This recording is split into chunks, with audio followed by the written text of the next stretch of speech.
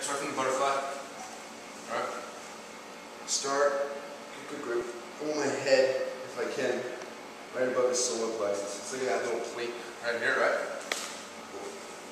It comes off the side, that's bad. If it's here, alright, see my head's up, that's bad, man, no pressure. So don't just start here. Alright? I'm gonna rock back. As I rock back, my hand gonna go to his hips. Hands go to the hips. Now the first thing I want to do, I'm to pick this side. My arm's going to swing inside. My body's going to turn a little bit. Opposite side foot is going to hook his knee. Alright? From here, I'm going to place my other foot inside. It's replacing my hand. Alright? Bottom foot. Bottom foot and the knee. Top foot by the hip. Very important, the top foot. Knee is on the other side of his butt. Alright? Even if, when I'm here, as long as I have the bottom foot in good, controlling his top leg, even if he wants to prevent me from bringing the other foot in, it's easy. I can just push the hip on my side, put it in, no problem. From here, my favorite, right? Get nice good control. I'm to push my legs away as I continue to hold my leg.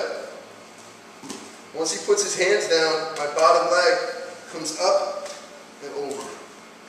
Now I want to control his heel, right? Let me finish. If for some reason when I go to do this, he pulls his knee low, past my pelvis, now obviously I'm not going to be able to knee bar him here, right? So I have to abandon this and switch to something else. My legs come open, right?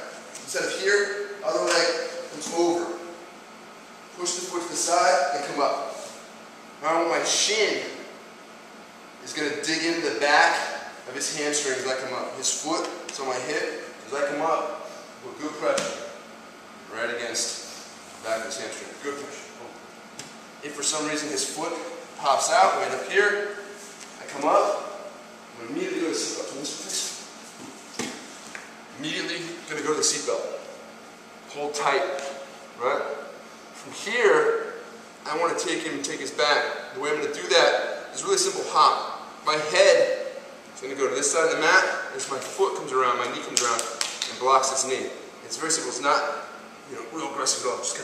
We're just going to ride. Boom. That's the move, right? From here, we're just going to rock. We're to hold tight. Come over. As soon as we come over, we're to finish the naked. Don't ever do this from here. Why? It's to grab my arm. It's like, yeah, I want to try and choke you. Please stop me. I don't want that. I want hand on top of my other hand. Slide in. Finish. One other option.